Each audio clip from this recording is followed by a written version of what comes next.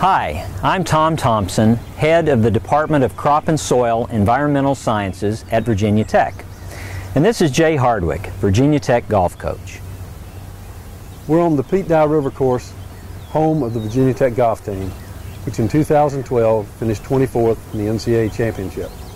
Our course was ranked 9th in the 2011 list of GolfWeek's best campus courses and number one in the Atlantic Coast Conference.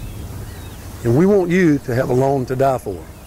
We're here to provide you with some basic tips on how to create a beautiful lawn that will also help protect the environment. But first, a soil test is important because it takes the guesswork out of how much fertilizer you have to buy. It measures the acidic or pH level of the soil, and you'll know if and how much lime you need to apply. And Jay, too much lime is just as bad as too little when it comes to growing healthy plants and grass. A soil test makes good economic sense too. You don't need to go crazy at the store buying lots of fertilizer you don't need.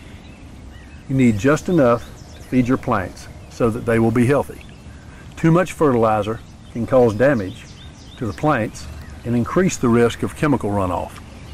And be sure to look for fertilizer that has ended up on your driveway, sidewalk, or street.